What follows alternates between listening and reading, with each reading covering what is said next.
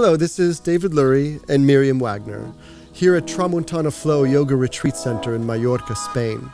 We are really excited to share with you uh, a, a 10 class program of yin and yang practices for the hips and the lower back.